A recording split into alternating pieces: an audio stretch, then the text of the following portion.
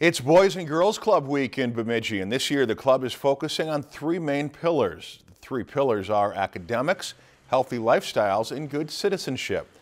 Each day of the week focused on one of them. Monday was an academic day, then Tuesday was all about STEM subjects. Wednesday, the kids' community service projects, and today they learned about healthy living from student athletes at BSU. Everything wraps up tomorrow with a club celebration day.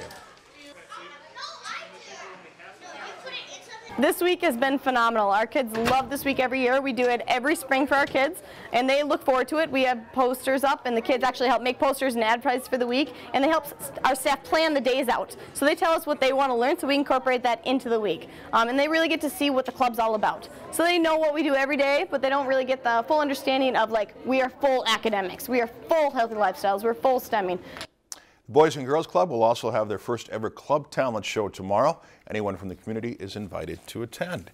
If you enjoyed this segment of Lakeland News, please consider making a tax-deductible contribution to Lakeland PBS.